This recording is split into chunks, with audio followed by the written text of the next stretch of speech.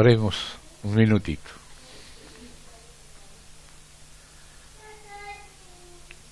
Querido Padre,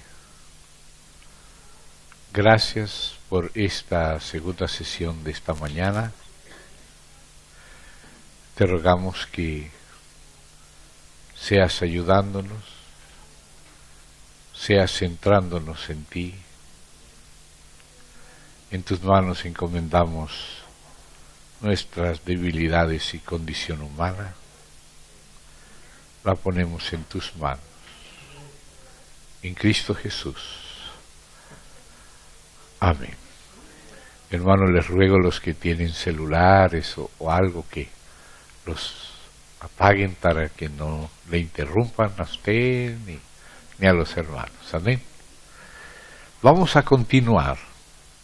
La primera parte que vimos anoche es primeros rudimentos y fe completa.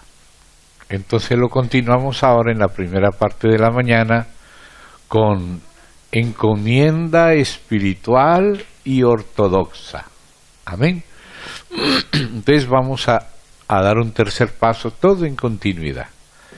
Para eso les ruego que vayamos al libro del profeta Zacarías y vamos a abrir allí en el capítulo 4.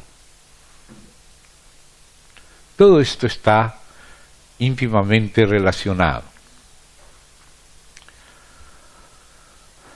¿Están los hermanos listos? ¿Están? ¿Sí? Amén.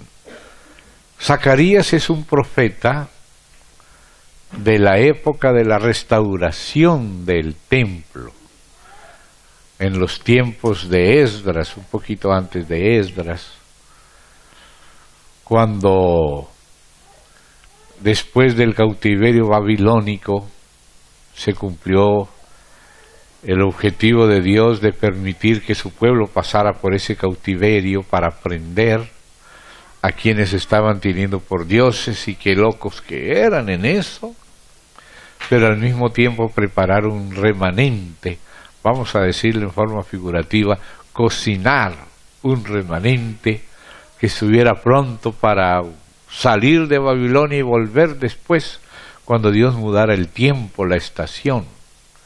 Quitó reyes a los de Babilonia, puso reyes a los de Persia, y el tiempo de cautiverio acabó y llegó ahora el tiempo del retorno. Retornar del exilio, volver hacia Jerusalén, por lo menos ese remanente preparado, el Señor cuando salían para Babilonia ya había profetizado que al final vendría un remanente que lo encontraría porque lo buscaría el Señor de todo corazón. Entonces, ese periodo de 70 años en Babilonia, ese eón, ese kairos, esa era de Babilonia, sirvió en medio del cautiverio para poder producir ese remanente. Y ese remanente volvió cuando ahora reinaba Ciro el persa y ahora eh, tenemos libros que corresponden a la época del retorno. Hay libros que nos explican la causa del cautiverio y son profetas que vivieron en el cautiverio, como el propio Ezequiel, como el propio Daniel una parte, como Jeremías, el libro de lamentaciones nos explica las razones del cautiverio, y otros profetas también pero luego Dios cambió los tiempos, quitó reyes, puso reyes, como lo dice en Daniel. Ahora llegó el tiempo de Persia, que fue el tiempo de Ciro el persa y el tiempo del retorno del cautiverio y fue el tiempo de los profetas Daniel, que también Daniel cambió y pasó del tiempo de Babilonia al tiempo de Persia. Hay profecías de él datadas del tiempo de Belsasar, de Babilonia y otras datadas del tiempo de Darío y de Ciro el persa. Entonces, también perteneció al tiempo de la restauración. Digamos que Ezequiel y Daniel eran profetas que vivieron la cautividad, pero cuyo corazón estaba en el propósito de Dios, en Dios mismo, en su propósito, en su casa, en su ciudad. Por eso era que a Ezequiel se le mostró el templo y se le dijo que si el pueblo se avergonzaba de sus pecados, entonces que le mostrara los detalles del templo de Dios. Y lo mismo también a Daniel. A Daniel se le explicaron muchas cosas. Daniel leía en Jeremías, se dio cuenta de que ya era la hora de que se estuvieran por acabar esos años 70 de cautiverio y empezó a orar y Dios le mostró otras cosas, en día Gabriel le mostró muchas profecías hasta el reino de los santos del Altísimo y el reino del Altísimo con sus santos.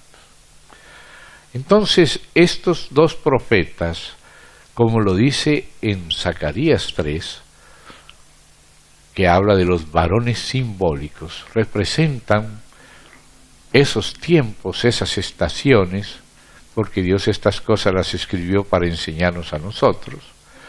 Entonces estos profetas son varones simbólicos, así como también después Josué, hijo de Josadac, el sumo sacerdote, que fue aquel sumo sacerdote de la restauración, Zorobabel, que fue el gobernador de Judá en la restauración, después vino Esdras, Nehemías, y estos fueron los varones claves de las etapas de la restauración, y también hubo dos profetas claves del tiempo de la restauración, que fueron el profeta Zacarías y el profeta Ageo, que profetizaron en el tiempo de la restauración.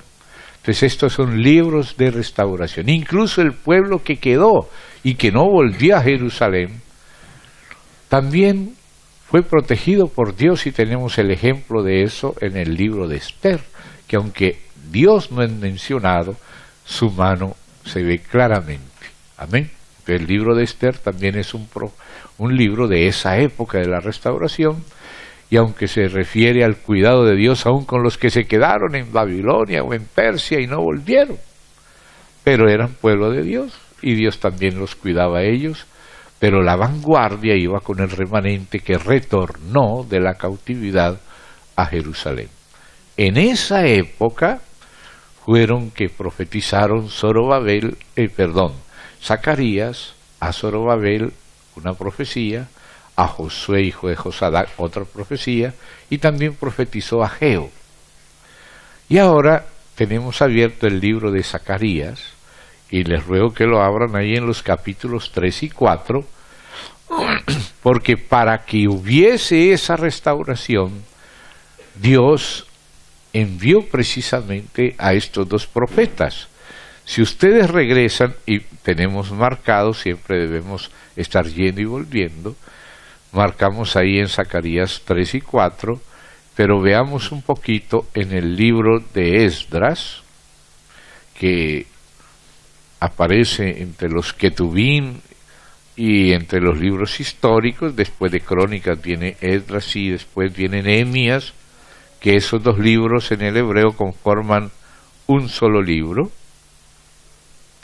Entonces ustedes ven que en el capítulo 3 de Esdras aparece el tema de la restauración del altar y del culto y la colocación de los cimientos del templo.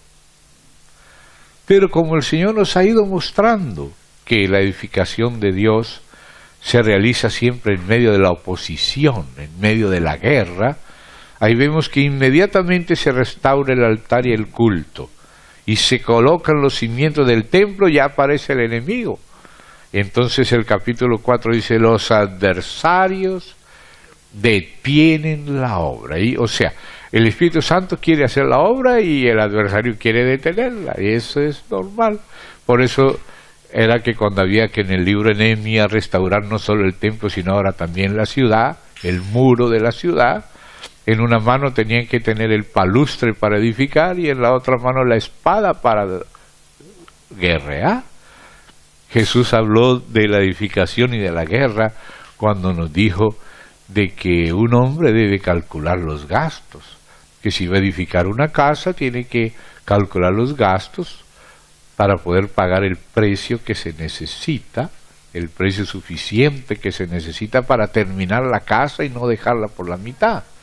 O también dijo que si vamos a emprender una guerra, hay que calcular el precio que hay que pagar para vencer la guerra. Si vemos que el enemigo viene con, con 20 mil y nosotros solo tenemos 10 mil.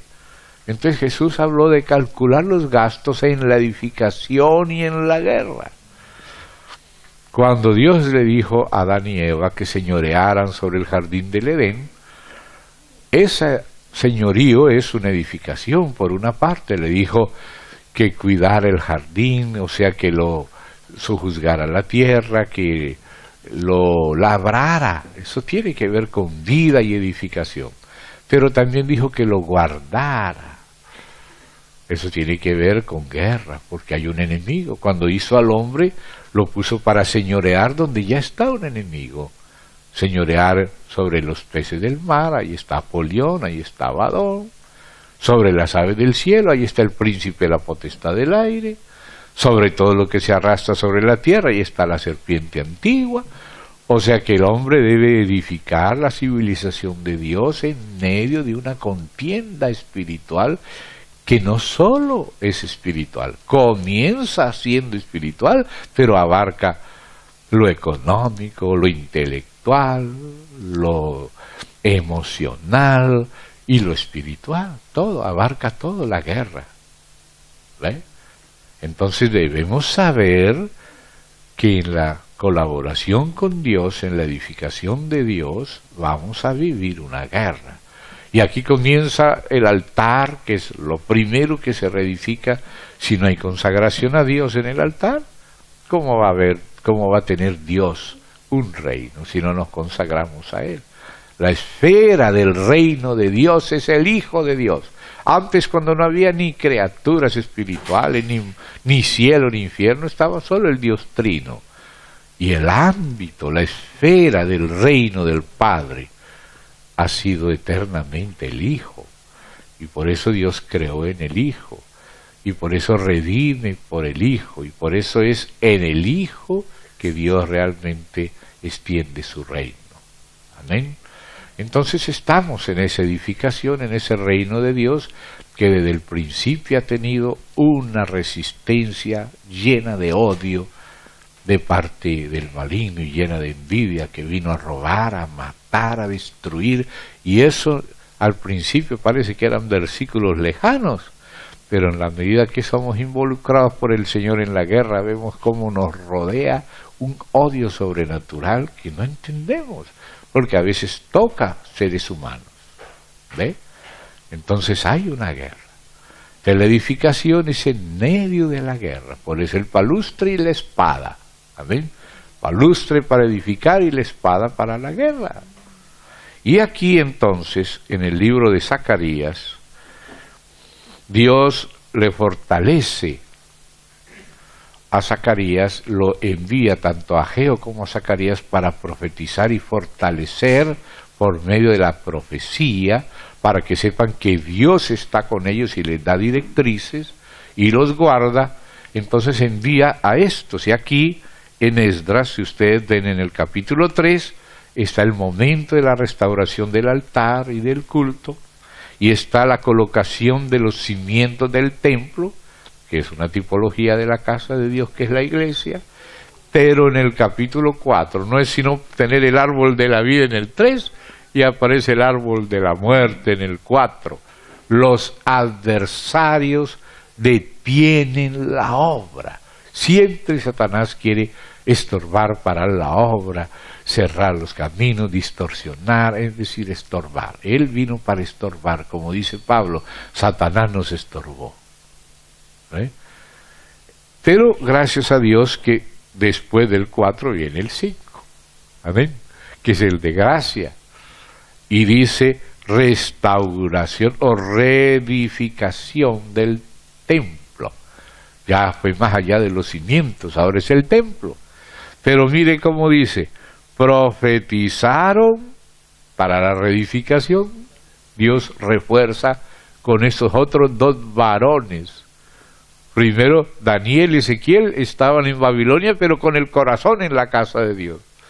Y luego envía a, a Zorobabel y a Josué, o vamos a decir el sacerdocio, Josué hijo de Josadac, y el reino, el gobernador de Judá, Zorobabel, de la línea genealógica de Jesucristo.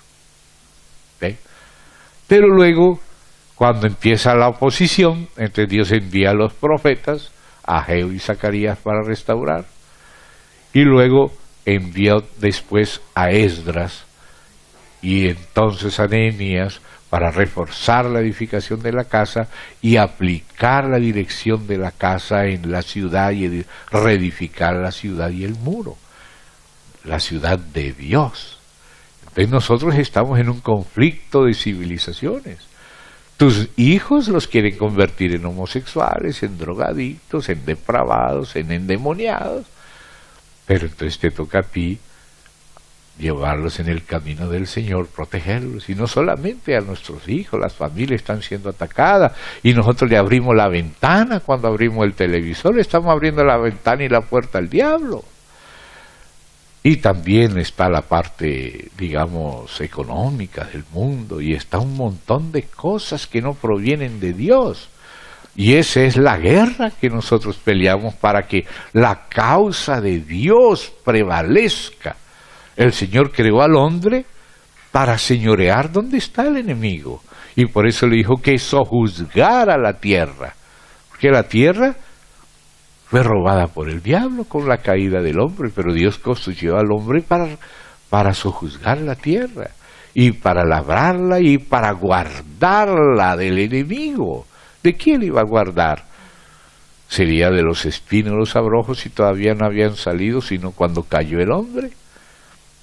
Pero antes de caer ya Dios le encargó labrar, que tiene que ver con la extensión del reino, y guardar, que tiene que ver con la guerra en defensa del reino, en nombre del Señor, pelear la buena batalla de la fe. Ahora, como Dios le dijo al hombre, crecer, multiplicado, llenad la tierra, ahora el hombre se volvió un viejo hombre, ahora viene la redención, para recuperar al, al, hombre y hacerlo un nuevo hombre. Y ahora viene la iglesia. Y ahora le dice Dios a la iglesia, igual que le dijo a Adán, ir por todo el mundo, llevar el evangelio por toda criatura. ¿Ve? Y empieza la fundación de las iglesias por todas partes. ¿Y qué es la iglesia? Es la recuperación de los hombres para la recuperación de la tierra. ¿Ve? El programa continúa.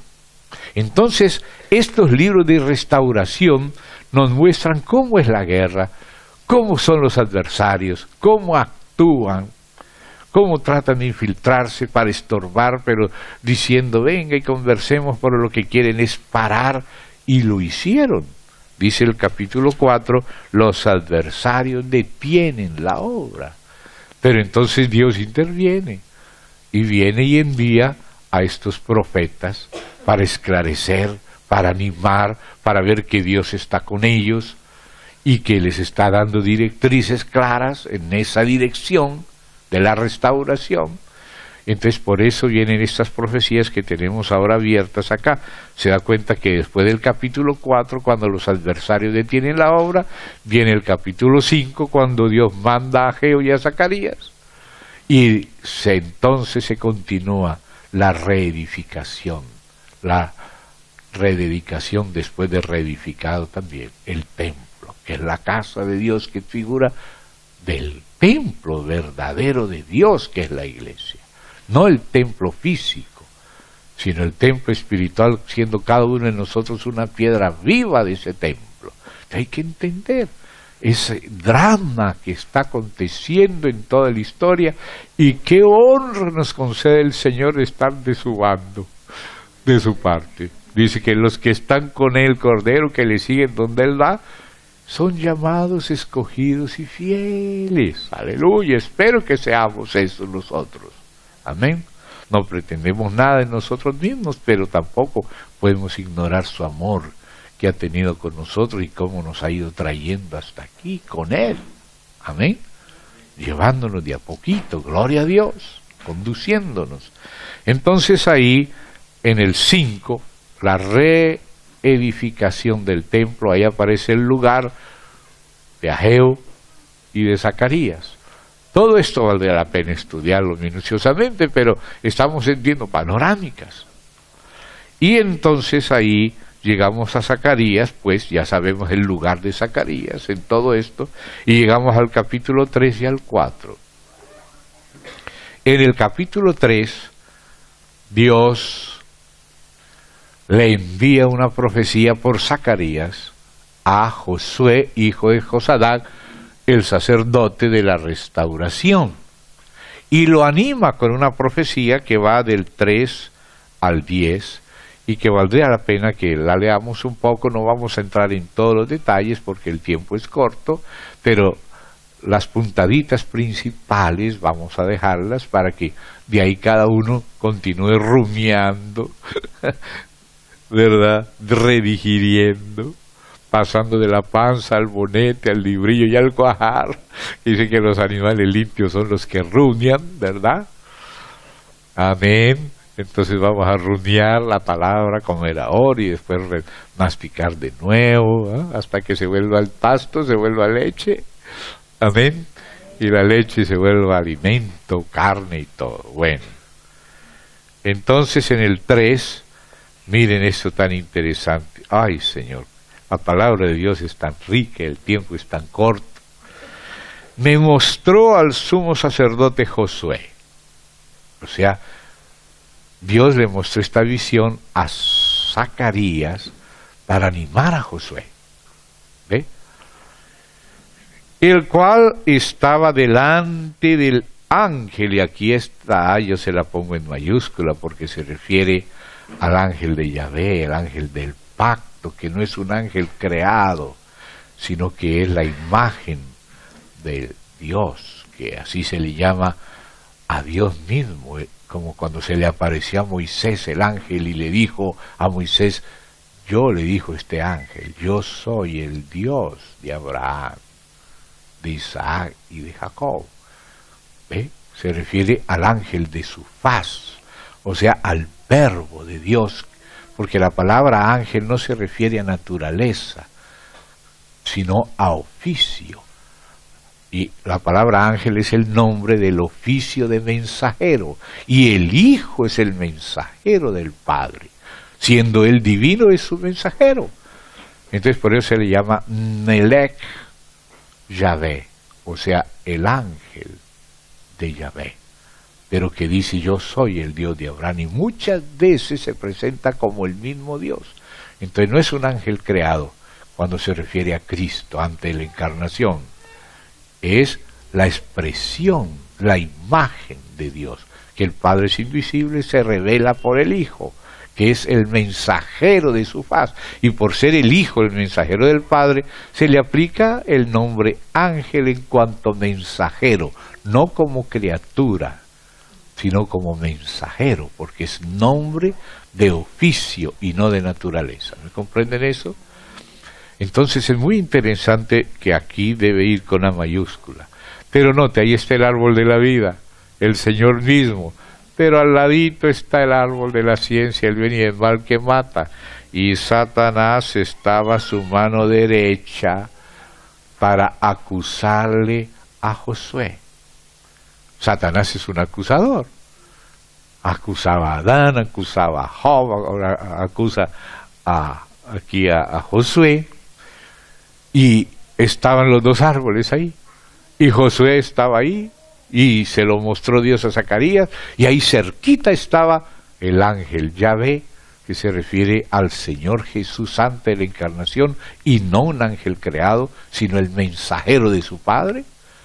Pero también ahí al lado estaba otro, ahí el otro árbol, el de la muerte, Satanás el acusador. Así es, Dios va a edificar algo y el diablo se la pasa merodeando, está, a veces está incluso aplaudiendo entre los hermanos como espía, con mal corazón. Está cerca siempre. ¿Dónde estaba el hombre en el jardín del Edén? ¿Y quién le apareció a Eva? En medio de los árboles, para que coma el que la va a matar, engañándola. No, no morirás, pero sí murió. Pero decía que no, pero sí la palabra de Dios es la verdadera. Siempre el diablo está para decir otra palabra, para causar distorsiones, para calumniar, distorsionar las realidades. Hasta el propio Dios lo calumnia, hablando con Adán y Eva, y eh, con Eva, porque él no engañó a Adán, pero engañó a Eva. Y le dijo, con que Dios te ha dicho que no comas de todo, como quien dice, yo soy más liberal que Dios. Dios es un opresor, yo soy vuestro libertador, como dicen los nazones del diablo. Entonces, ¿qué le dijo?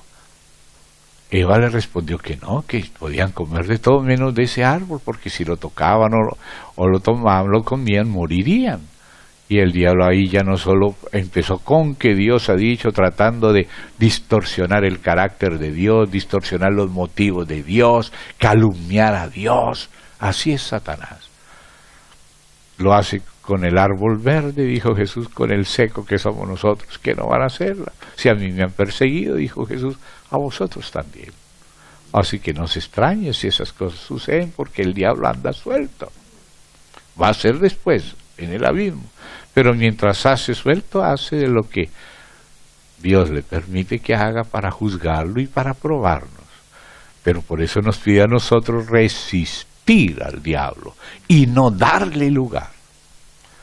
Entonces él está ahí ¿eh? a contradecir, a calumniar, a tergiversar con el árbol verde que es Jesús, la manifestación en carne del propio Dios, y a él Dijo Jesús, si en el árbol verde hicieron estas cosas, si a mí me persiguieron, también a vosotros os perseguirán.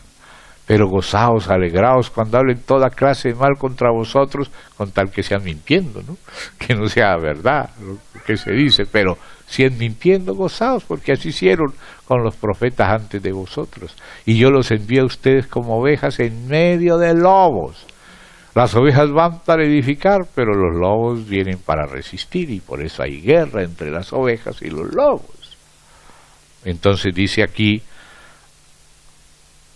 Satanás estaba a su mano derecha para acusarle. Capítulo 3 de Zacarías, la visión que le mostró a Zacarías para animar a Josué, hacerle entender la realidad espiritual, porque a veces no entendemos lo que pasa y nos confunde el enemigo, pero el Señor nos abre los ojos, nos hace entender y nos anima. Estoy con ustedes. Gracias a vosotros. Aleluya. Entonces dice, y dijo Yahvé a Satanás. Ya te das cuenta quién era ese ángel de Yahvé. Era el propio Yahvé. Era Dios, el Hijo. Y dijo Yahvé a Satanás. Yahvé, o sea, mi Padre. Yahvé, que dice, es el Hijo. Y se refiere a Yahvé el Padre. Yahvé el Hijo dijo a Satanás, Yahvé mi Padre, te reprenda, oh Satanás. Yahvé que ha escogido a Jerusalén te reprenda. ¿No es este un tizón arrebatado del incendio? Pues ¿quién provocó el incendio? Satanás. Tú quieres hacer algo, el Señor está edificando, planta una lechuguita y ya le manda a todos los gusanos para destruir. Y así un hijo de Dios viene a predicar. Antes no venía nadie a visitar a la persona, pero tan pronto empiezas tú a hablarle el Evangelio, ahí le llegan los mormones, los testimonios que de Jehová y son de Russell, que era un de la familia luciferiana, de los Illuminati, los Russell, y vienen a meterle, a confundirlo, para que la persona no se salve, no recibe el Evangelio, ¿se da cuenta? ¿Ve? Siempre el enemigo ahí molestando entonces por eso dice, no es este un tizón arrebatado del incendio, todo quedó vuelto ceniza, eso lo hizo el diablo, quiere destruir todo, volver todo ceniza, pero ahí debajo de la ceniza hay un tizoncito, aleluya, y ese tizoncito se sopla y vuelve a prenderse el fuego, aleluya, Patricio, gloria a Dios, debajo de la ceniza el Señor aviva el fuego con un tizoncito escogido. ¿Ve? Eso es lo que hace Dios. No ha escogido Dios a Jerusalén, no es este un tizón arrebatado del incendio. Y Josué, él en sí mismo era un hombre, no era un ángel impecable. Dice, estaba vestido de vestiduras viles.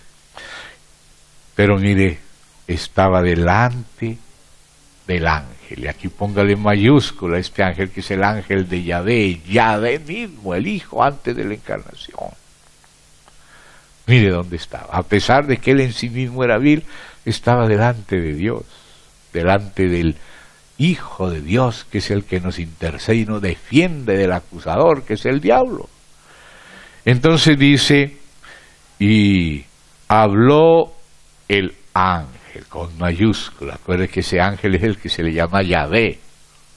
No solo ángel de Yahvé, sino Yahvé mismo, como en muchos otros pasajes, como en Isaías, como en Malaquías, etc. Inclusive en Corintios. Entonces dice, habló el ángel, Yahvé, ese es Yahvé, y mandó a los que estaban delante de él diciendo, quitadle esas vestiduras viles.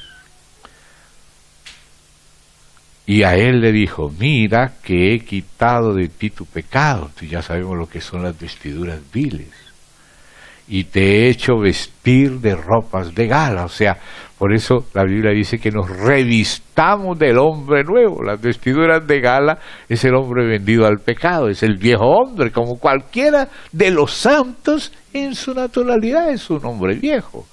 Pero en el nuevo nacimiento en Cristo es un hombre nuevo. O sea que la gracia nos quita las vestiduras de gala y nos pone las vestiduras, perdón, nos quita las viles y nos viste de gala. Amén para que Satanás no moleste y no acuse. ¿Cómo el Señor nos libra de la acusación de Satanás? Nos reviste. nos quita las vestiduras viles y nos viste de vestiduras de gala. Entonces, y él dice, después dijo en el 3, 5, pongan mitra limpia sobre su cabeza porque es que a veces cuando estamos en la carne pensamos muchas cosas que no hay que pensar. Por eso había que poner una mitra y en la mitra una lámina que dice santidad a Jehová o a Yahvé. Pongan mitra limpia sobre su cabeza y pusieron una mitra limpia sobre su cabeza y le vistieron las ropas. Note esto, le vistieron. Eso es voz pasiva. O sea, fue el Señor que le hizo eso a él. No que él lo hizo por sí mismo. Nadie se puede por sí solo, sin Cristo y sin la ayuda de Dios, hacer nada. Jesús dijo, separado de mí nada podéis hacer, pero confiad en mí. Yo he vencido. Le vistieron de gala. ¿Ve? Y entonces dice, y el ángel de Yahvé estaba en pie y el ángel de Yahvé amonestó a Josué diciendo, Así dice Yahvé Sabaoth, o sea, Jehová de los ejércitos. Él es nuestra paz, Él es nuestro pastor, Él es nuestro gozo, nuestra justicia, pero aquí estamos en guerra, entonces Él es Yahvé Sabaoth. Aleluya, hermano, nuestro Dios es Dios de guerra. Él sabe en qué guerra estamos y es contra Él la guerra. Él dice, no es contra ti, y él dice, la guerra no es tuya, es mía. Y no es contra ti, es contra ti. Samuel, no te desecharon a ti, no piense que te pusieron estorbos a ti, sino a mí. Pero él es Yahvé Sabaoth, el Dios de la guerra. Amén. Entonces dice aquí, si anduvieres por mis caminos y si guardares mi ordenanza, también tú gobernarás mi casa también guardarás mis atrios. Y entre estos que aquí están, los que llaman varones simbólicos, que representan las distintas etapas de la restauración, como él mismo era uno de ellos, entre estos, o sea, Josué iba a ser uno de los varones simbólicos, por lo tanto, Josué era el otro, y Ageo el otro, y Zacarías el otro, lo había sido Daniel, lo había sido Ezequiel, lo va a ser Edras, lo va a ser Nehemías. ¿Por qué? Porque ellos son los que simbolizan esa obra de Dios en la Biblia. Las cosas que se escribieron para nuestra enseñanza se escribieron y los periodos de restauración de la verdadera casa están simbolizados por la tipología del Antiguo Testamento. Por eso el Antiguo Testamento es símbolo del Nuevo, como lo dice el Nuevo. Y por eso estos varones son llamados simbólicos. O sea que simbolizan ese proceso de la obra de Dios. En el Nuevo Testamento es espiritual, que el Antiguo Testamento era físico. David, tú derramaste mucha sangre, tú no me edificarás casa, pero tu hijo que nacerá de ti, David, tu hijo me edificará casa, y yo le seré a él por Dios y él me será hijo, y yo le daré el trono eterno. O sea que Salomón, hijo de David, era apenas la figura del verdadero hijo de David, que es Cristo. Y el templo que levantó Salomón es apenas la figura del verdadero templo, que es la iglesia. Jesús dijo, yo edificaré mi iglesia. Esa es la casa que el Hijo le edifica al Padre. Tú, David, derramaste sangre, tú no, pero tu Hijo me edificará casa. Y esa casa es la iglesia porque Jesús es el, verdadero Hijo de David y la iglesia, el cuerpo de Cristo, es la verdadera casa y Salomón es figura y el templo es figura, pero la figura no termina solo ahí, ese templo fue destruido, fue rajado, fue abandonado y ahora hay que restaurarlo y ese proceso de restauración también es figura. Hay una Babilonia donde fue cautivo el pueblo, Así también en el Nuevo Testamento hay una misteriosa Babilonia con unas hijas, así como había una Jezabel y una Talía en el Antiguo Testamento, también hay una Jezabel en el Nuevo, hay una Babilonia en el Nuevo, y lo de la figura era símbolo para el tiempo presente. Entonces por eso a estos varones se les llama varones simbólicos, porque cada uno simboliza algo. Nosotros no estamos leyendo solo la historia de Esdras, estamos leyendo la historia de la restauración de la iglesia, tipificada o simbolizada en la de Esdras. ¿Te das cuenta? No estamos leyendo solamente de Eva, no. Eva es figura de la iglesia. Adán es figura de al que había de venir. Betel es figura. Las pisadas de la fe de Abraham son figura o símbolo de nuestras pisadas. Entonces todo esto es un símbolo. Y por esto estos varones son varones simbólicos. Entonces si, si Josué camina con Dios, y llega a gobernar en la casa de Dios, tú también te sentarás con estos. Como quien dice, también servirás como varón simbólico, como un ejemplo para la restauración. Aleluya, mírelo. Capítulo 3 de Zacarías le dice en el verso 7, si anduvieres por mis caminos, si guardares mi ordenanza, también tú, no solamente tú, pero también tú. Porque ese también es que el gobierno es colegiado. También tú gobernarás mi casa, también guardarás mis atrios, y entre estos que aquí están, te daré lugar.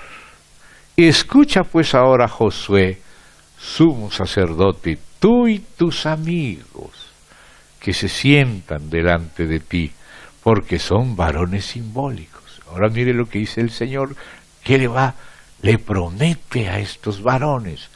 He aquí yo traigo a mi siervo el renuevo. El renuevo es Cristo. Él es el verdadero restaurador, pero ellos son símbolo de la restauración, que es la verdadera formación de Cristo en la iglesia.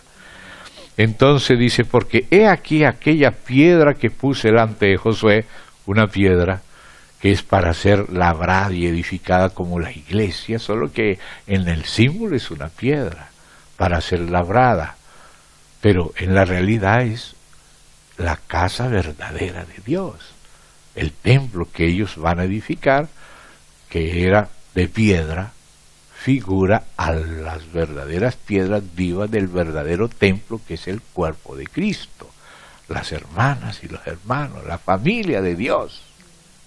Entonces dice ahí, estamos en el 3 de Zacarías, versículo 9, aquella piedra que puse delante de ti. Sobre esta única piedra hay siete ojos. Y tú ves esos siete ojos en el Cordero. Mire, va a Apocalipsis.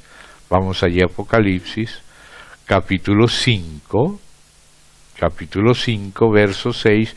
Miré y vi que en medio del trono y de los cuatro seres vivientes que eran aquellos serafines que estaban también en Isaías 6, y en medio de los ancianos, los celestiales, los veinticuatro están en el 4 de Apocalipsis y en el 24 de Isaías, celestiales, que estaban, estaba en pie un cordero como inmolado que tenía siete cuernos y siete ojos, los cuales son los siete espíritus de Dios enviados por toda la tierra. Entonces, los siete ojos del cordero son los siete espíritus. Y los siete espíritus están aquí, mire, Salimos ahí, vamos a Isaías capítulo 11, vamos a ver los siete espíritus del Cordero, los siete ojos del Cordero, son siete espíritus. Mírelo, capítulo 11, saldrá una vara del tronco de Isaí. ¿Quién es Isaí? El padre de David. Y un vástago retornará de sus raíces, o sea, el hijo de David, que es el Mesías, que es Jesucristo y reposará sobre él, y aquí cuente, el espíritu de Yahvé, uno, espíritu de sabiduría, dos, y de inteligencia, tres, espíritu de consejo, cuatro, y de poder, cinco, espíritu de conocimiento, seis, y de temor de Yahvé, siete. El primero espíritu de Yahvé es como la caña del candelero y tres brazos para la derecha y tres para la izquierda, la minorá, el candelabro, los siete espíritus, como las siete lámparas que tiene el candelabro, son los ojos del Cordero. O sea, Cristo formándose en la iglesia, que es el candelero. ¿Se da cuenta? Entonces volvemos ahí a Zacarías, capítulo 3, verso 9, aquella piedra que puse delante de Josué. Sobre esta única piedra hay siete ojos. La iglesia, que el Señor va a edificar. Los ojos, los siete ojos están sobre esta piedra. Aleluya. ¡Qué maravilla! Espíritu de sabiduría, de gracia, de de todo lo que leímos ahí. ¡Qué maravilla, hermano! Lo que tiene Dios en el corazón. No importa que el diablo hizo un incendio y dejó un montón de ceniza. Ahí debajo de la ceniza el Señor se guardó su remanente, su tizoncito de fuego para empezar de nuevo el fuego, aunque sean pocos, pero el Señor aviva. Aleluya. Hay que entenderle al Señor. Ánimo, hermanos. Entonces dice así, sobre esta única piedra hay siete ojos. He aquí yo. ¿Quién es el que está hablando aquí? El Señor Yahvé Sabaoth, Jehová de los ejércitos. Como dice, el celo de Yahvé Sabaoth hará esto. Como lo dice después a Zorobabel también. Ahora le está animando a José, que es por el lado del sacerdocio, uno de los ungidos, que es el sacerdocio, el otro ungido, que es el gobierno, pues un reino sacerdotal, el rey, el gobernador de Judá, Zorobabel, y el otro Josué, hijo de Josadá, el sacerdote, un reino sacerdotal, la autoridad del Señor por un lado y por el otro. Entonces dice aquí, he aquí yo, Aleluya. Si el Señor dice yo, no hay quien le impida. Si Dios dijo, hagamos, ahí está el Padre, el Hijo y el Espíritu Santo, hagamos al hombre a nuestra imagen, conforme a nuestra semejanza. Y cuando dice el hombre, no es los machos, es varón y mujer. Dios hizo al hombre varón y mujer, ese es el ser humano, ese es el hombre corporativo, la humanidad. Él quería esto con toda la humanidad, pero como el hombre pecó, el hombre se volvió un viejo hombre. Pero luego viene la redención y los que reciban a Cristo pasan a ser el nuevo hombre para que se cumpla lo que Dios dijo, hagamos. Nos hace a su imagen semejanza para señorear donde está el enemigo. en los peces del mar, las aves de los cielos, las bestias que se arrastran en la tierra. ¿Ve? Como Israel tenía que reinar en Canaán, aunque había Nefilín e hijos de Nefilín, reptiles, o sea, lo que se llama en la Biblia simiente de los Nefilín, los híbridos humanoides alienígenas creados por ángeles caídos en relación con mujeres, como lo dice eh, eh, Génesis 6 y otros pasajes de toda la Biblia, no solo para antes del diluvio, sino después. Hay que ir mencionando esto de a poquito porque es parte de la guerra. Parte de la guerra. No se le dice a los niños, pero se le dice a los guerreros. No he entrado en eso, pero ya les voy diciendo, existe eso. Entonces volvemos acá. Yo grabaré, como dijo el Señor, yo haré, yo le haré ayudadora idónea, dijo Adán, pero es figura de Cristo. Y la ayudadora idónea, es figura de la iglesia, hermanas. Ustedes fueron creados como figura de la iglesia, que es el misterio de Cristo. Él y ella son los dos juntos, el misterio de Cristo, Adán y Eva, figura de Cristo y la iglesia, que es la llave de toda la Biblia. Si ves eso, entiendes la Biblia. Si no ves todavía eso, hay que seguir leyendo la Biblia hasta ver. Te dice así, he aquí yo, dice el Dios guerrero. Por eso habla el celo de tu casa me consume, dijo Jesús. Yo grabaré su escultura. ¿Y cuál es la escultura? Formar a Cristo en la iglesia. Eso es edificar la iglesia. Dice Yahvé Sabaoth, y quitaré el pecado de la tierra en un día. Pero para el Señor un día es como mil años. Y ese día es el séptimo día, o sea, el, séptimo milenio, que es el milenio. Y la prueba es lo que sigue a continuación. En aquel día, dice Yahvé Sabaoth, cada uno de vosotros convidará a su compañero debajo de su vid y debajo de su higuera. Aleluya. El Señor edifica la iglesia para que haya vencedores reinando en el milenio sobre toda la tierra.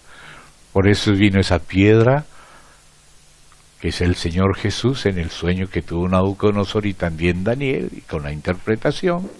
Esa piedra es el Señor Jesús que para poder venir del cielo tuvo que morir en la tierra, resucitar, ascender y en la segunda venida venir y derribar la estatua golpeándole en los pies, la historia universal, la cabeza de oro de Babilonia, los pechos y brazos de plata de Persia, el vientre y muslos de bronce de Grecia, las piernas de hierro de Roma, los pies de derro mezclado con barro de la Unión Europea, de donde surge un gobierno mundial, como dice la Escritura, de entre esos diez surge el anticristo. Y ya no estoy hablando solo de profecía, sino de historia. La primera parte ya está cumplida, falta solo la coronación. Pero no ese es el tema, pero hay que mencionarlo. Entonces dice aquí, ahí sí viene la piedra derriba el reino de los hombres y aquella piedra crece como un gran monte que llena toda la tierra, ese es el reino de los santos del Altísimo. Primero la parte milenial y luego la eterna. ¿Ve? Entonces el Señor dice, yo grabaré su escultura, dice aquel que tiene siete ojos, con todos sus siete ojos mirando todo, y esos siete ojos, mire lo que es Espíritu del Señor, mire lo importante que es el Espíritu, porque el Espíritu es el que vela sobre todo y el que hace todo. Y lo vamos a ver en la siguiente visión a Zorobabel, porque son visiones para apoyar la restauración de la casa de Dios. Entonces dice, y en aquel día, en ese día en que el Señor quita el pecado de la tierra, cuando Satanás es arrojado al infierno, preso, y los escogidos ya están reinando como vencedores sin el cuerpo mortal, ¿ve? Entonces ese es el último día de descanso, o sea, el el milenio, porque para el Señor un día es como mil años. ¿Ve? Entonces, ahí está la visión para apoyar a Josué, hijo de Josadag, o sea, el sacerdocio. Pero ahora viene el reino. Zorobabel, gobernador de Judá, de la genealogía de Judá, no será quitado el cetro de Judá. Jesús es el león de la tribu de Judá y este Zorobabel está en la genealogía de Jesucristo. Jesucristo dijo que de Dios dijo de Jesucristo como hijo de David y ese hijo de David que salió de David pasó por Zorobabel y llegó hasta Belén. Entonces ahora volvió el ángel, ahora ya me entiende qué ángel es, por eso yo le tengo que poner mayúscula, es el ángel Yahvé llamado Yahvé. Lo entendería si lo leyera desde el capítulo 2 donde aparece Yahvé que envía y Yahvé enviado. El Yahvé que envía es el Padre y el Yahvé enviado es la imagen del Padre que es el Hijo. Ese, esa revelación empieza ya desde el 1 y luego pasa al 2 y sigue en el 3 y en el 4, solo que así a veces leemos, no entendemos la línea, pero permítame ponerle con mayúscula esta A. Yo no corrijo la Biblia. La Biblia está correcta, inspirada, y en el original griego, en el hebreo, cabe la A mayúscula porque fue un traductor. Pero ¿a quién se refiere? No cualquier ángel, sino el ángel Yahvé, el que se le llama Yahvé, que se le llama desde el capítulo 2 y en el 3, sí, en el 4. Es el mismo que le apareció a Moisés. Hay toda una historia del ángel Yahvé desde el Antiguo Testamento hasta llegar al Nuevo. Y en el nuevo dice Pablo, y la roca que lo seguía era Cristo. Hay que hacer eso paso a paso. Aquí estamos resumiendo, en otros lugares se ha hecho, pero entonces hay que enseñarlo en todas partes, en lo que se pueda. Entonces seguimos, volvió, aleluya. O sea que es el mismo que había venido antes, ¿se da cuenta? es el que Dios dijo, guárdate de él y no le desobedezcas porque mi nombre está en él. Así le dijo a Moisés.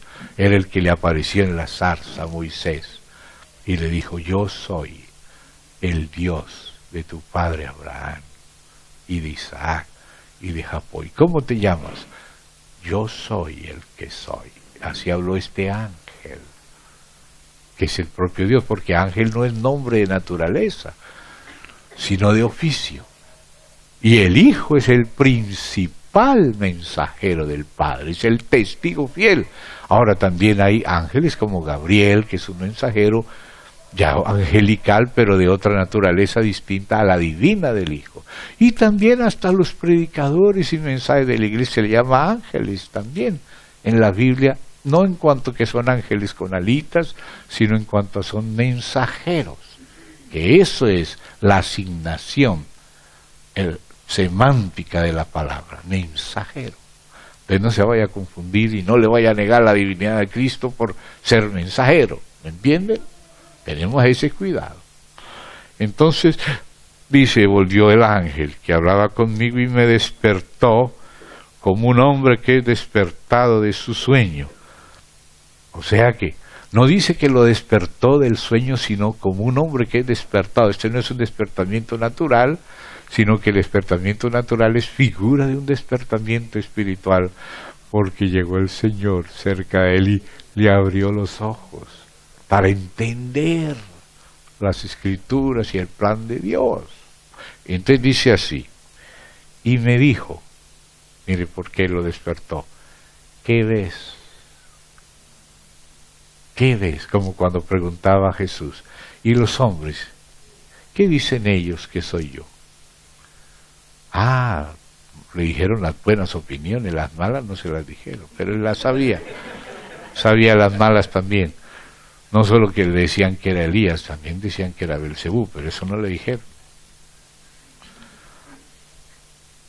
Y después que dijeron lo que los hombres decían, como si ellos no fueran hombres, eran hombres, pero también eran los suyos. ¿Y vosotros? ¿Quién decís que soy yo? O sea, lo lleva a la visión a que ellos expresen qué revelación tenían. Confiesen lo que les ha sido revelado, porque esa es la palabra del testimonio, confesar al Cristo que nos es revelado, porque para eso viene el Espíritu Santo, para glorificar al Hijo. Cuando Él venga, Él nos enseñará todas las cosas, nos recordará lo que el Hijo hizo y nos abrirá, y nos abrirá, y nos abrirá la luz. Un cielo abierto encima de nosotros. Les volvió y me despertó. ¿Se da cuenta? Como un hombre que es despertado de su sueño. El sueño es, son cosas irreales. El Señor nos dejó ver la verdad. Y me dijo, ¿qué ves? Y respondí, he mirado. O sea, si uno no mira, no ve. A veces hasta mirando no vemos, ¿cuánto más si no miramos? ¿Verdad? Entonces dijo, he mirado y he aquí. ¿Cuál era la visión? Hay que tener visión, porque Zorobabel era el gobernador, la autoridad real estaba en Zorobabel. Y Dios quería restaurar la casa y la ciudad. ¿Ve? Por eso estaba el sacerdocio y el gobernador. Entonces, para que la casa y la ciudad de Dios, la civilización de Dios que se forma en medio de la guerra de las tinieblas, como Adán y Eva que tienen que hacer familia donde ya está el diablo, que el diablo ya estaba y es asesino, homicida desde el principio. Y Adán era como una oveja en medio de lobos, pero el Señor le, dijo, tranquilo, come de todo. O sea, lo que más quería Dios que comiera el árbol de la vida, pero el otro de la muerte no, esa era la ventana para que se colara el maligno. Y uno se pone curioso a meterse donde no debe las narices y se le cuelan los demonios. Por eso deje la ventana cerrada y no dé lugar al diablo y concéntrese en el Señor. Pero Adán no lo hizo, no guardó el jardín. Esa era la guerra, guardarlo, no dejarlo pasar. Pero el hombre se dejó vencer y, y vendió su naturaleza al poder del pecado. Ahora tuvo que venir el Hijo y ser tentado en todo conforme a nuestra semejanza y vencer al diablo y condenar el pecado en la carne. Y él sí puso el muro, él restauró el muro, el verdadero muro. ¿Se da cuenta? Lo restauró el Señor. ¿Ve? Entonces así es ese mismo principio acá. He aquí un candelabro. Otra vez aparece el candelabro. No es la primera vez, ya apareció en Éxodo, está en Levítico, está también aquí, está también en Reyes, en Jeremías y está en Apocalipsis. Entonces, la visión es un candelabro. Un candelabro tiene siete brazos. ¿Ve? Y dice, un candelabro todo de oro. O sea, nada que sea extraño a la naturaleza divina. Todo de oro. Con un... ¿Con un qué? ¿De qué hablamos ahora? Mire la vinculación del depósito con el candelabro. La iglesia, el pueblo de Dios, no puede alumbrar sin conexión con el depósito y el aceite como oro que viene del depósito a las lámparas del candelabro. ¿Y cuáles son las lámparas? ¿Quiere ir conmigo? Vamos a Proverbios. Vamos al libro de los Proverbios. Vamos al libro de los Proverbios, ya volvemos acá. Libro de los Proverbios capítulo 20, Proverbios 20, versículo 27. Mire lo que dice. Lámpara de Yahvé es el espíritu del hombre. La cual escudriña lo más profundo del corazón. De aquí se basó Pablo para leer lo que leímos en segunda en primera los Corintios segundo capítulo. Recuerda que leímos en la primera parte que dice ¿Qué es lo que conoce lo profundo del hombre sino el espíritu del hombre que está en él? Así también nadie conoció lo profundo de Dios sino el espíritu de Dios. Entonces el espíritu nuestro es el que escudriña lo profundo. Él sacó eso de Proverbios. ¿Ve? Lámpara de Yahvé es el espíritu del hombre. O sea, nuestro espíritu es la lámpara y el espíritu de Dios es el fuego que enciende la lámpara. Entonces dice, el que se une al Señor, un espíritu es con él. El espíritu del Señor, la leche, se le pone en la lámpara, que es el té. Nuestro espíritu es el té. El espíritu de Dios es como la leche, es una figura. Se unen en un solo espíritu. El espíritu del Señor en nuestro espíritu. Toda verdadera edificación es en el espíritu. El primer punto para una verdadera edificación es nacer de nuevo del Espíritu y ser fortalecidos en el hombre interior por el Espíritu. Y de ahí pasa al alma y de ahí pasa a la comunión y a la plenitud. Eso está bien edificado allá en Efesios, capítulo 3, desde el 14 al fin del capítulo. Perdón, hermanos. Entonces esta lámpara es el espíritu nuestro, como lo dice y lo leímos primero allá en Corintios y ahora en Proverbios. Entonces volvemos a Zacarías. Y en Zacarías dice así, He aquí cuál es la visión. La visión es un candelabro, que es como cada iglesia es un candelabro. En Apocalipsis dice que la iglesia en Éfeso es un candelero, que es un candelabro, la palabra es la misma, candelabro, candelero, castizal, lampadario, son diferentes traducciones. Ahora dice aquí lo siguiente, un candelabro todo de oro con un depósito encima. Este depósito está lleno de aceite como oro o sea, es el Espíritu de Dios que fluye por siete tubos.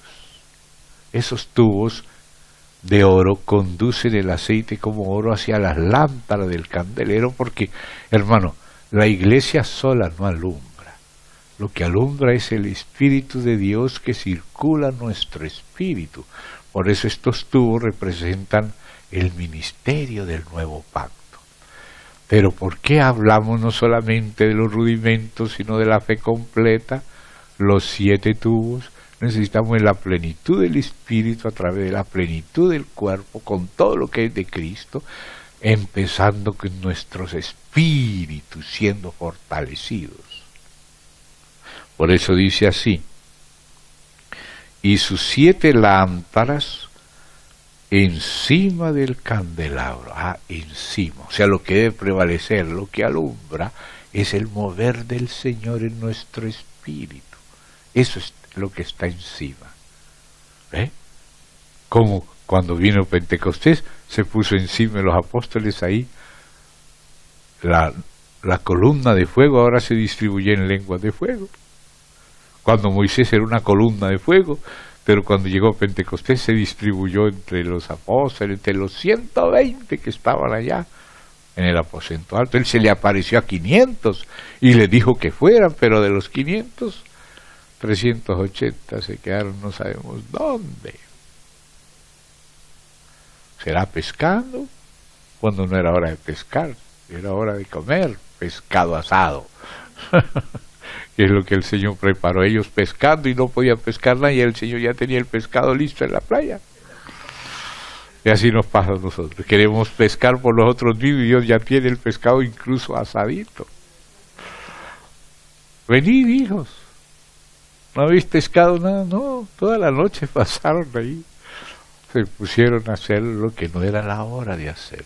Lo primero es lo primero. Buscad primero el reino de Dios y su justicia, y las demás cosas vendrán por añadidura. Ya estaba el pez asado ahí del supermercado Galilea. Amén. Entonces ahora dice acá, hermanos, un depósito encima y sus siete lámparas encima, note el lugar, encima, tanto el depósito como las lámparas, encima, y siete tubos para las lámparas que están encima de él. del depósito salían siete tubos, o sea, esos son los canales para el fluir del Espíritu hacia la iglesia, hacia el Espíritu de los santos. Ese es el ministerio del nuevo pacto. Entonces dice, y junto a él, porque de dónde salía el aceite? De los olivos. O sea, no solo había el depósito, sino también los olivos. Dos olivos, el uno a la derecha del depósito, que era el sacerdocio, y el otro olivo a la izquierda, el reino. ¿Qué son estos dos olivos? ¿Ve? Los dos ungidos, que eran, uno era Zorobabel representando el reino, y el otro era Josué, hijo de Josada, representando el sacerdocio. ¿Y qué es la iglesia? Lo que dice Pedro, el apóstol Pedro en su carta, real sacerdocio. Ya no es el sacerdocio arónico de antes, no, ahora es el sacerdocio del Nuevo Testamento, donde el Señor dice que por su sangre nos hizo para Dios reyes y sacerdotes. ¿Quiénes? Los santos todos, el pueblo adquirido por Dios como nación santa, el real sacerdocio. Hermano, por favor, vamos a leer. Que yo se lo estoy diciendo en memoria, pero algunos quizás no se acuerden y tienen que leerlo con sus propios ojos, porque dice, pero yo, fulanito, fulanita, ¿será que yo no soy sacerdote? No, no es de la línea de Aarón, pero Cristo es de la línea de Melquisedec y nos hizo sacerdotes a su pueblo. Entonces vamos a ir a, primeramente a Pedro, amén. Vamos a la primera de Pedro. A ver, ¿a quién le escribe Pedro esta carta, porque algunos dicen que él es el primer papa y pensará a alguien que le está hablando es a los cardenales. Vamos a ver a quién le habla e, e, este querido apóstol de Dios. Pedro, apóstol de Jesucristo, a los expatriados de la dispersión en el Ponto, Galacia, Capadocia, Asia y Bitinia no veo el Vaticano por ahí. Elegidos según la presencia de Dios, Padre, o sea, los elegidos, en santificación del Espíritu para obedecer y ser rociados con la sangre de Jesucristo. Gracia y paz sean multiplicados. ¿Entendés? Está hablando a los hermanos de entre los propios judíos que estaban esparcidos por todas partes, pero que recibieron a Cristo. ¿Ve? Y luego entonces dice en el capítulo 2, versículo 4, dice, acercándoos a Él. ¿A quién? ¿Dónde está la dirección? ¿Dónde queda la sede? En el cielo, a la diestra del Padre. Ahí está nuestra sede. Esa es la sede de la iglesia. Ahí está la cabeza más arriba que el Papa. Acercándonos a Él, piedras vivas, desechadas ciertamente por los hombres, sí, así es. Mas para Dios, o sea, no piense que la opinión de los hombres es la misma de Dios, gracias a Dios. Mas para Dios escogida y preciosa, vosotros también. ¿Quién es vosotros? El pueblo. Vamos a ver qué es el pueblo. Ya leímos la introducción y luego vamos a llegar al verso 9. Pero por lo tanto vamos leyendo el 4. Para entender quién es vosotros les mencioné anticipado el 9, pero vamos a llegar ahí. Vosotros también como piedras vivas, sed edificados como casa espiritual, espiritual, fíjese, no física, espiritual, y qué más, edificados como casi cuando nos acercamos al Señor mismo, somos edificados como casa. Cuando nos acercamos al Señor mismo, somos edificados como sacerdocio, ¿de? Sacerdocio santo para ofrecer sacrificios espirituales. Ya no hace falta que sean cruentos, ovejas esos, y ya el Señor ya es. Todo eso representaba era el Señor. Espirituales aceptables a Dios por medio de Jesucristo. Luego sigue hablando, hablando, hablando y habla de los que van a tropezar y llegamos ahora hacia el 9, que sigue hablando a los mismos, más vosotros. ¿Quiénes sois vosotros? ¿Soy linaje escogido? ¿Será de Aarón? No. Real sacerdocio. Nación. Toda este sacerdocio es toda la nación. La nación no solamente son los machos, son los hombres, las mujeres, los niños, todo es el pueblo de Dios. Esa es la nación, ese es el sacerdocio. Y dice, nación santa, pueblo. Ah, por fin llegamos. Ah, ese vosotros es el pueblo. Adquirido por Dios. ¿Cómo te adquirió Dios? Por medio de un título de un seminario o algún cardenal le consiguió un puestico por allá. La sangre, dice en Apocalipsis, dice que por su sangre nos hizo reyes y sacerdotes. Entonces dice aquí,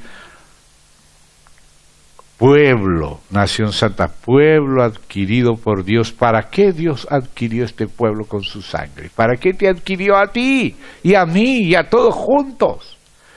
Para que anunciéis las virtudes de aquel, no algún sistema, al Señor.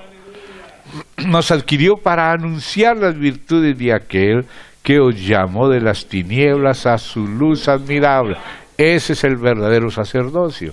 Salimos de las tinieblas a través del velo y entramos en la luz de Dios por la sangre, por el amor de Él, por la fe.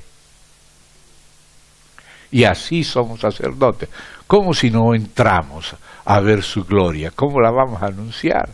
Si no conocemos sus virtudes, ¿cómo vamos a anunciarlo? Pero el pueblo, el pueblo fue adquirido para anunciar. Cada uno tiene su testimonio que decir. Tiene que participar aquello que le fue dado del Señor como una función del cuerpo. No todos son ojos, ni manos, ni dedos, cada uno, uno es una oreja, otro es un dedito, otro puede ser el hígado, lo que sea. Cada uno hace su parte y todos juntos anunciamos la plenitud de Cristo, las siete plenitud, siete lámparas, todas las siete extendidas. Una está a la derecha, otra a la izquierda, otra en el centro, otro centro derecha, centro izquierda, derecha, izquierda, ultraderecha, como Mateo, que era publicano, es la ultraderecha. O como Simón el Celote, que era la ultraizquierda, pero pertenecían al mismo candelero porque la iglesia no es de ricos o de pobres o de blancos o de negros o de hombres o de mujeres, sino en Cristo ya no hay judío, ni griego, ni bárbaro, ni cita, ni varón, ni mujer. Raza no hay. El Señor quiere de toda tribu, pueblo, lengua y nación. Somos sus hijos. El mismo Cristo que mora en los hombres, mora en las mujeres, mora en los ricos, en los pobres, en los analfabetas, en los eruditos, en los colombianos, en los chilenos, hasta en los gringos también. Porque algunos aquí en el sur podemos tener algún resquemor con los gringos. Pero el Señor también salva gringos, ¿sabe? Sí, salva también gringos. Así que hay que incluir a todos los gringos salvos. Y los que no son salvos hay que evangelizarlos también para incluirlos si ellos quieren. Nosotros no excluimos a nadie. Parece chistoso, pero es para que no tengamos un corazón estrecho con nadie, ni por cuestión de clase, ni por cuestión de tribu, de lengua, de raza, de nación, de cultura, si es analfabeto, si es medio medio, si es erudito, eso Eso no lo miró el Señor, Él no hizo acepción de personas. Él quiere un pueblo de toda tribu, pueblo, lengua y nación, toda clase de seres humanos. Así es la iglesia. Nuestro corazón tiene que incluir a los que Dios incluye. Ay, ay, ay. Eso duele, porque nuestro racismo, nuestro clasismo, porque a veces nosotros juzgamos en un criterio de clase y no en Cristo. ¿Se da cuenta? Mire, una vez había unos hermanos que vivían por allá en un cerro y su casita era de plástico.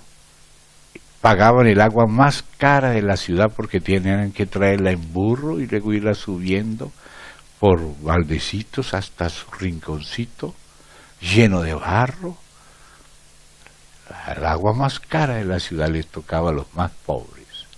Y un hermano empezó a entender de que, que no podían mantener esa distancia con los hermanos pobres. Y se propuso, voy a visitar al hermano fulanito allá en su barrio, allá en la periferia. Y justo ese día llovió y se pegó una embarrada subiendo allá y él en vez de enojarse se puso alegre, porque se embarró y dijo, bueno, por lo menos estoy comprendiendo ahora a mi hermano. Ya cuando llegue todo embarrado ya me voy a sentir más cerca de él. Y cuando llegó todo embarrado, el hermano le dijo, sigue hermano, adelante, qué bueno que viniste. Bueno, ahora te puedes ir a, casa y allá te bañas con la ducha caliente y te cambias de ropa, no te preocupes. Y el hermano dijo, yo sí puedo volver a casa y tomarme un duchazo y cambiarme la ropa. Él todavía no. Pensaba que estaba cerca y todavía estaba lejos. ¿Me entiende? Y nosotros no nos ponemos en el lugar de los hermanos. Pero el Señor vino y se puso en el lugar de cada uno en nuestro hueco, ahí donde estamos, ahí se puso. Y de ahí nos la ha levantado. Espero que eso lo haga Él en nuestros corazones. Amén. Entendamos porque Él quiere salvar a todos. Entonces dice así,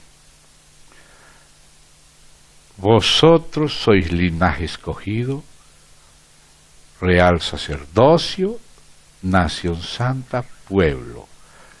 Hay gente que no quiere unir pueblo con real sacerdocio, pero el Señor dijo real sacerdocio, pueblo adquirido por Dios. Y dice más, para que anunciéis las virtudes de aquel que os llamó de las tinieblas a su luz admirable. Vosotros que en otro tiempo no erais pueblo, ni siquiera pueblo, porque no eran de Israel, se da cuenta, eran perrillos. No erais pueblo, pero que ahora, o sea, ahora en Cristo, sois pueblo de Dios. Ese es el real sacerdocio, el pueblo de Dios en Cristo. Y es para todos los hombres de toda clase. Es para todos. Si algunos no lo son, no es porque Dios los excluyó, sino que ellos mismos se excluyeron. Si tú eres abogado y te das cuenta que eres abogado, vas a actuar como un abogado. Y si eres un ingeniero, vas a actuar como un ingeniero. Pero el diablo no quiere que sepamos que somos la familia real de Dios. El real sacerdocio de Dios. Pero debemos ejercer lo que Él nos ha hecho con su sangre y con su espíritu. En la cruz terminó la diferencia y en la resurrección se metió en todos los hijos sin hacer diferencia de nada. Y no por obra de justicia ni la ley, por pura gracia. Y nos hizo un solo cuerpo, el del propio Cristo, para estar en todo lugar con Él y su Espíritu en su nombre. Entonces dice ahí, vosotros que en otro tiempo no erais pueblo, pero que ahora sois pueblo de Dios, que en otro tiempo no habíais alcanzado. Dios sí nos la extendió, pero nosotros no lo habíamos alcanzado. Dios sí nos la alcanzó, pero nosotros no la recibíamos. Misericordia, pero ahora habéis alcanzado. Misericordia. Entonces, hermano, ahora pasamos al 4 capítulo 4 de la primera de Pedro, viendo esto del sacerdocio, y dice el capítulo 4 desde el 10 y el 11, versículos 10 y 11 del 4, capítulo 4 de la primera de Pedro. Cada uno, ¿a quién le está hablando entonces aquí Pedro? A cada uno de los del pueblo de Dios. ¿Ve? Cada uno según el don que ha recibido. Oiga esto, hermano, porque es que a veces pareciera que es según la constitución del cardenal fulano. No es según el cardenal. Lo que te constituye miembro del cuerpo para funcionar es el don de la gracia de Dios en ti. Vamos a, completar eso. Marque aquí, siempre lo completamos y volvemos. Miren Efesios capítulo 3. Efesios 3 y ya volvemos. Efesios 3 dice así. Verso 7. Del Evangelio yo, dice Pablo, fui hecho ministro por el cardenal. ¿Por quién fue hecho ministro? Por el don de la gracia de quién? ¿De su Alteza Real Felipe VIII? ¿O Enrique VIII? ¿O algo así? Fui hecho ministro por el don de la gracia de Dios que me ha sido dado, dado, nada de, vender investiduras, ¿eh? dado según la operación de su poder. O sea, Él por gracia opera en ti. Él es Yahvé nuestro estandarte de victoria, el que nos abre el camino, el que nos tiene preparado todo. Así que está atento cuando menos piense Dios te va a usar en lo que no te imaginabas, porque eres miembro de Él y Él está en ti. Entonces tienes que darle lugar a Él y servirle a Él, y claro, en armonía con todos, pero no dejándose anular por Satanás. Sírvele a Dios. Eres hecho ministro, sea servidor, porque es que a veces oímos la palabra ministro y pensamos que es como el de Hacienda, no.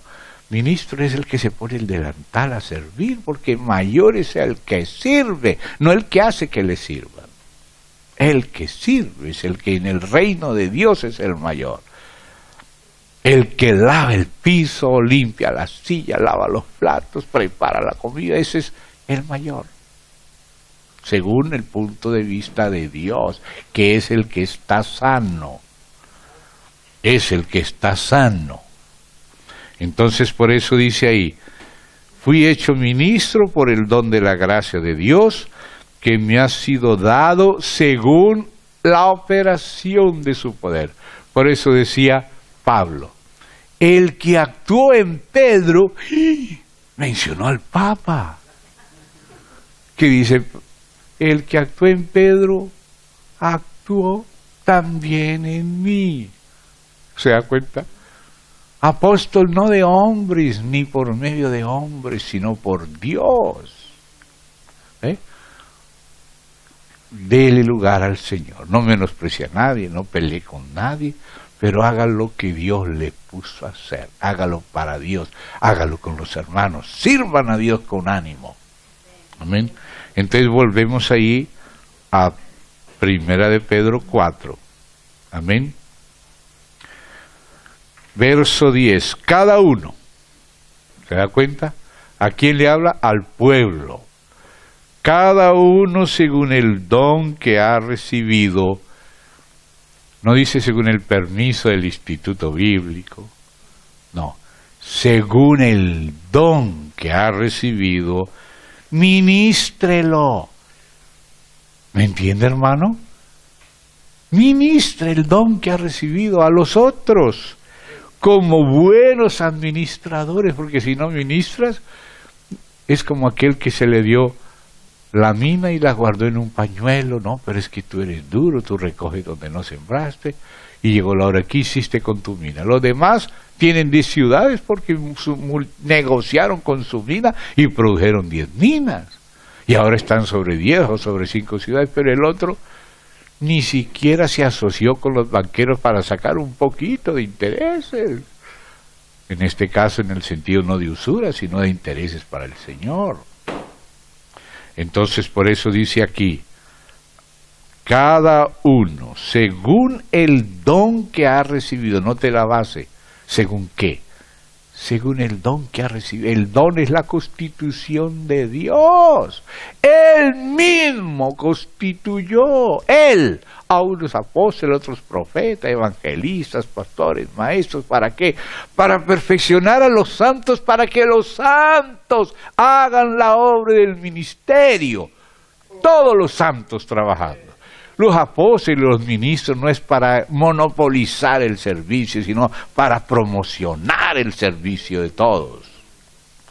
Entonces por eso dice aquí, cada uno conforme el don que ha recibido según Catá, ministrelo a los otros como buenos administradores de la qué? Ah, pero es que ellos no hacen las cosas como nosotros no se han acomodado nuestra cuadrícula. ¿Quién dijo que había cuadrículas? La gracia es multiforme. ¿Cómo el hígado va a ser igual que la nariz? ¿Cómo el oído va a ser igual que el ojo? Dios hizo ojos para una cosa, oídos para otra, hígado para otra, ¿me entiendes, mi hermano? Entonces no tenemos que ser cuadriculados, ¿me entiende, hermano? Ni cuadricular a otros. ¿Eh? Cada uno según lo que ha recibido, dice como buenos administradores de la multiforme gracia. Y también dice en otro lugar, en Efesios, multiforme sabiduría. Tiene muchas formas, o sea, unidad en la diversidad. Ya vamos llegando. Eh, un poquito, ya lo voy a dejar descansar, almorzar, para terminar la idea, que no se quede la tinta en el tintero. Ya termino. Si alguno habla, hable conforme a las palabras de Dios. O sea, los oráculos de Dios, el rema de Dios, la palabra que el Señor te coloca en el corazón. Si alguno ministra, porque no solamente se sirve hablando, se ministra de muchas maneras. Entonces dice, conforme ministre o sirva conforme al poder que Dios da. La fuerza que te dio el Señor para hacer esto, cooperar en esto, cooperar con el Señor, con la iglesia, con los hermanos, hasta con la pobre humanidad, en algo, cooperar. Entonces dice, ministre conforme al poder que Dios da para que en todo, no sea lo que hago yo, usted tiene que hacerlo como yo, porque no, en todo sea el Señor glorificado en lo que haces tú y en lo que hace el otro, y no el otro la manera tuya, cada uno conforme Dios le dio a cada uno. Tenemos que tener ese corazón abierto, receptivo, complementario, alegrarnos por la variedad, porque esa es riqueza de Cristo en el cuerpo. Entonces por eso dice ahí, en el verso 11, para que en todo sea Dios glorificado por Jesucristo, a quien pertenecen la gloria y el imperio por los siglos de los siglos. Amén. Decimos amén a esto. No es herejía, no. Es la palabra de Dios. Ahora, permítanme regresar a Zacarías que no acabé.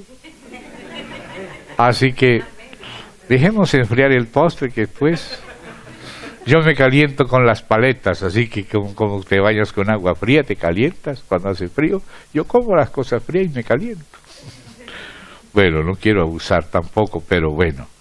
Ya íbamos por acá en el 4-3. Junto a él dos olivos, el uno a la derecha del depósito y el otro a su izquierda. Que a los de la derecha no le gusta a los de la izquierda que lo de la izquierda no le gusta lo de la derecha y se ponen a pelear en vez de entender que Dios hizo a uno para una cosa y a otro para otra cosa. Dice que hizo a los pobres para que sean ricos en fe y hizo a los ricos para que sean generosos con los pobres. Amén. El olmo no da peras, pero la pera puede subirse encima del olmo. Bueno, claro que es difícil a la pera, pero por lo menos alguna enredadera puede subirse en un árbol que no da fruto y parece que entre los dos dan fruto, porque el otro sostuvo al otro. Bueno, entonces llegamos al, al 4. Proseguí, por eso yo proseguí un poquito, ya, ya terminé. Y hablé diciendo a aquel ángel, pues yo le pongo mayúscula, que hablaba conmigo, ¿qué es esto? O sea, ese candelero con un depósito, con unos tubos con aceite que sale por el depósito para alumbrar. No entendía qué era. Y le va a explicar, ¿qué es esto, Señor mío? Y le dijo, Señor, ¿eh? Y el ángel que hablaba conmigo respondió, aleluya, gracias a Dios que responde. Y me dijo, ¿no sabes qué es esto? Y dije, no, Señor mío. Entonces respondí y me habló diciendo, esta es la palabra de Yahvé a Zorobabel. Esa es la palabra, pero y, esa palabra tan rara, un candelero, depósito, olivos, tubos, aceite, ¿eso qué es? Entonces le dice, esa palabra es esto, dice, esto es lo que dice esa palabra, eso es lo que significa todo eso. No con ejército, ni con fuerza, sino con mi espíritu, ha dicho Yahvé Sabaoth. Ese es el secreto. No es por fuerza humana, maniobrando, forjando cosas, no, dejando fluir al espíritu. Esto, ese, ese aceite, ese es el, el, el espíritu corriendo por los tubos, los siete tubos, la plenitud del ministerio del cuerpo, fortaleciendo todos los espíritus estén a la derecha, a la izquierda, en el centro. Esa es la palabra de Dios a Zorobabel. No es con fuerza, no es con ejército, es con mi espíritu. Eso es lo que significa esto. El río del espíritu, el ministerio del espíritu espíritu, que es el del nuevo pacto, funcionando en todo el cuerpo. ¿Ve? Todos los ministerios, siete tubos, llevando a todas las lámparas, de los extremos al extremo, llevando que la vida del Señor, la luz del Señor. Ojalá nos conquiste esta visión, porque esto era para que viera Zorobabel, entendiera y se animara. Para eso le mostró Dios esta visión a través de Zacarías. Entonces ya vamos llegando. ¿Quién eres tú? Note. No, eso es una palabra fuerte. O sea que este río se lleva hasta los montes. Esos montes eran esos imperios, enemigos, cabezas del dragón. Son esos montes donde se asienta la bestia. Pero eso se lo lleva el río. Mire, ¿Quién eres tú, oh gran monte? Delante de Zorobabel será reducido a llanura. Aleluya. Él sacará la primera piedra con aclamaciones de qué? De gracia. Gracia a ella.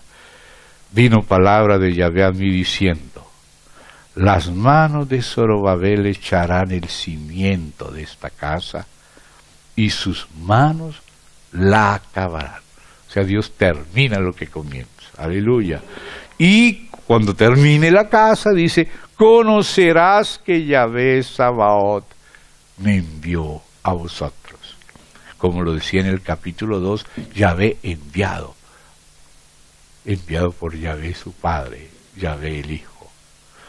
Conocerás que Él me envió a vosotros. Porque, pongan esto, no se preocupen que son poquitos todavía. Los que menospreciaron el, el día de las pequeñeces, cuando las cosas eran pequeñas, pero no se preocuparon de eso, se alegrarán. Cuando las cosas empiezan, esas pequeñas, acaba de sembrar el maíz, unas hojitas, como dijo el Señor, como la semilla más pequeñita va a llegar a ser. Amén. Entonces dice, los que menospreciaron el día de las pequeñeces, se alegrarán y verán la plomada en la mano de Zorobabel para edificar el muro. Ahora no había ni muro, pero lo van a ver.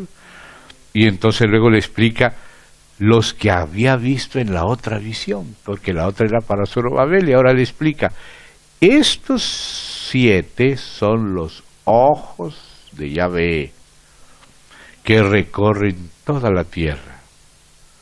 Hablé más y le dije, ¿y qué significan estos dos olivos?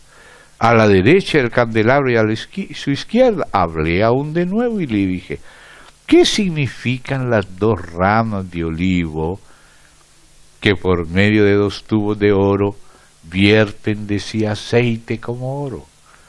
Vierten de sí aceite como oro, ¿no? ¡Qué belleza! Y me respondió diciendo, ¿no sabes qué es esto? Y dije, Señor mío, no. Y él dijo, estos son los dos ungidos que están delante del Señor de toda la tierra, o sea, como las dos columnas del templo. Una era el sacerdocio y otra era el gobierno, el reinado, el reino sacerdotal, que en ese momento era representado por Josué el sacerdocio, hijo de Josadá, y por Zorobabel el reino. Entonces, hermanos, vamos a parar aquí. Les agradezco su paciencia. Oremos al Señor y pidámosle, Señor, confírmanos lo que sea tuyo, anímanos, porque estas visiones son para animar al pueblo en la edificación. Querido Padre, gracias porque tú nos amas y estos varones son simbólicos para hablarnos a nosotros hoy. No solo leer del pasado, sino leerlo de ayer para alimentarnos hoy, para cooperar hoy contigo. Afírmanos en la fe, en el ánimo, Señor, porque es contigo, no es por la fuerza, no hacemos esto para forzar a nadie, pero dar lugar a tu espíritu, que sea tu espíritu, que es el único que puede edificar la casa y guardar la ciudad. En el nombre del Señor Jesús. Amén y amén. Gloria a Dios.